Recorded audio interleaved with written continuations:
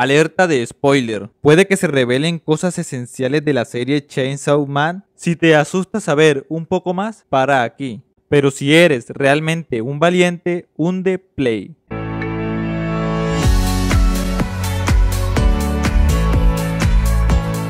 ¿Cuál es el secreto que se esconde detrás de la puerta que persigue a Denji? La misteriosa puerta pálida al fondo del callejón oscuro y húmedo que se le aparecen todas las noches a Denji en sus pesadillas, aquel portal cubierto de notas de desalojo y amenazas de demandas por deudas que le susurran siempre unas palabras. Jamás debes abrir esta puerta. Una característica importante es que en esa alucinación sí es Denji, pero de niño, con una camisilla blanca holgada y unos choros oscuros cortos. Calza zapatos rojos bastante anchos y mantiene una expresión neutral de ignorancia. Claramente es un trauma de su niñez, pero es relevante el saber lo que hay detrás de ese portal. Sí, sí lo es, y Makima sabe perfectamente qué es lo que hay detrás. Pero luego de que Denji entrara al cuarto escuadrón especial de cazadores de demonios, en los momentos difíciles, en el combate y ver sufrir a alguien a quien valora hace que la puerta se presente ante él. La muerte de Aki hace que casi la abra por error, situaciones a las cuales Makima lo expone conscientemente. Recordemos que ella desea al demonio motosierra, al verdadero, para vivir juntos como una familia. Así que una tarde lo invita a su casa y Denji, aturdido después de matar a Aki poseído por el demonio pistola, le pide a Makima que lo vuelva a su perro para no tener que pensar nuevamente.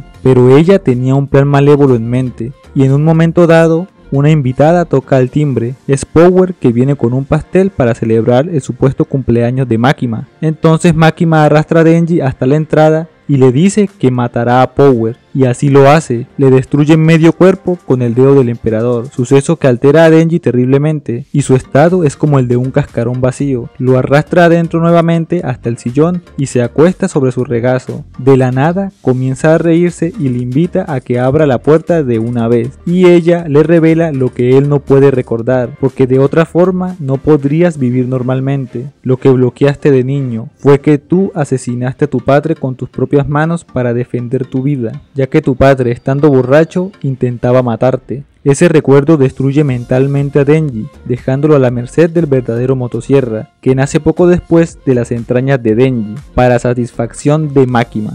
Y así acaba este video.